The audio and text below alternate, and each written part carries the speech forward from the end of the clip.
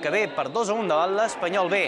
En els 10 minuts de partit s'han avançat els blanquiblaus amb un penal que ha transformat Jairo i que Rollo ha estat, ja ho veus, a punt d'aturar. Només en començar la segona part, eh, Sergio Cortés, també des del punt de penal, ha fet el gol de desempat. El 2 a 1 definitiu l'ha fet Pirulo en el minut 83 amb un llançament de falta directa que Rollo no pot rebutjar.